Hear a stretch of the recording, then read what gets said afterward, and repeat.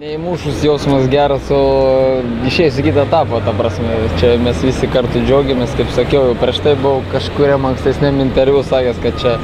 didelio skirtumo nėra, kas įmušo, svarbiausiai mes e, patenkinti už žalgerį visi, kaip sako, bandom perrašyti istoriją, jeigu taip išeina.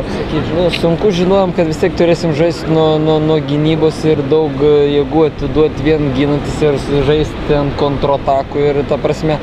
Antram kilinį gale, man atrodo, tas labai pasijutė, kad, kaip sako, pavargom ir, ir, ir turbūt ir pripratę ant dirbtinės, žolė, ant dirbtinės dangos žaisti dabar ant žolės, vis tiek kažkaip minkščiau, nu,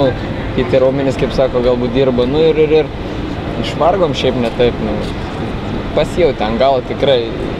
matęs visi žaidėjai, matęs iš, iš, iš,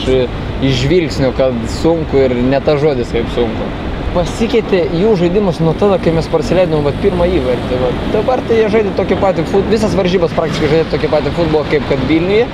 bet vat, mums prasileidus dabar jiem išlyginus, nu, vienas vienas, kaip patapo rezultatas, va tada pamatėm, kad jie matyt galbūt pajutė, kad gali, kad, kad, kad galbūt gali ištraukti tas varžybas, dar laimėti, o tada prasidėjo tikrasis tas, nu, mūsų, kaip pasakyti,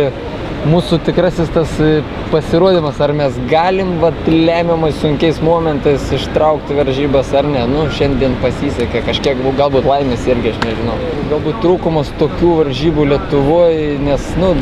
aišku, tikrai, kad nepagalvotų, nenuvertinom mes ekrano, Atlanto, Suduvos ir taip toliau, bet, nu, retai kada būna to, tokių sunkių varžybų Lietuvoje. 3, 4, 5 galbūt per metus būna, ta prasme, bet, nu, patir, patirties dar trūksta mum, aš, aš manau, va, to, tokio lygio, aukšto lygio varžybose, bet gerai baigėsi, viskas gerai, kas gerai baigė. Taip, taip, matėm, kad jų galbūt iš tokiam dideliam stadione jų atrodo labai nedaug, bet paskui, kai po varžybų pasirodė, kad jų visai nemažai buvo ten, nu, labai aukšta kam kampe ten jie buvo, tai, nu, atsimenu, nu, tikrai jautės, jautės, kad nesam vieni, kad nesam tik, tik